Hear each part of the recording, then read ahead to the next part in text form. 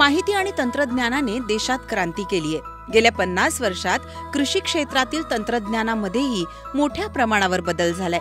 शेतातील काडी कचरा वेचण्यापासून पिकांच्या कापणी आणि पॅकिंग पर्यंत बळीराजाने आता आधुनिक तंत्रज्ञानाची कास धरलीय.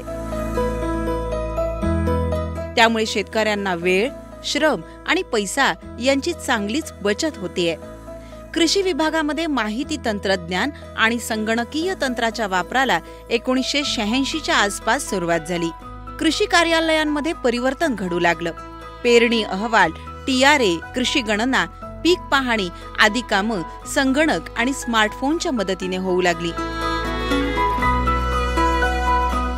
शेतांचं मॅपिंग मृद तपासणी ही यंत्राच्या सहाय्याने केली जाऊ लागली.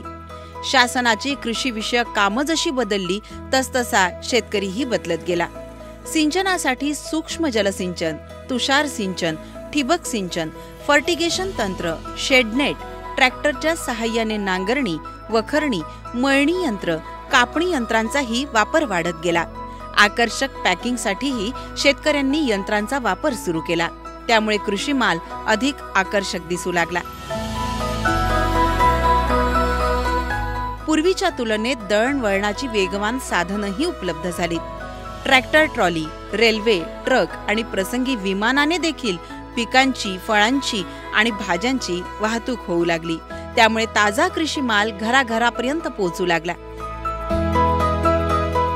तंत्रज्ञानाने जशी देशात क्रांती घडवली तसंच शेतशिवारही फुलवलंय.